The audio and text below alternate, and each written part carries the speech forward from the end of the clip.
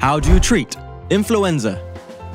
Through self care, rest, and drinking adequate amounts of water, along with paracetamol and ibuprofen, some antiviral drugs in severe or complicated cases, and flu vaccines are available to help prevent infection.